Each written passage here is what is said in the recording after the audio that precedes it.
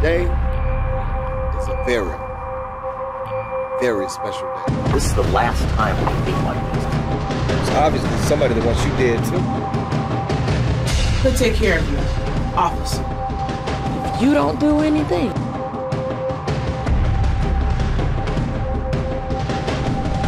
Melissa. Melissa. You okay?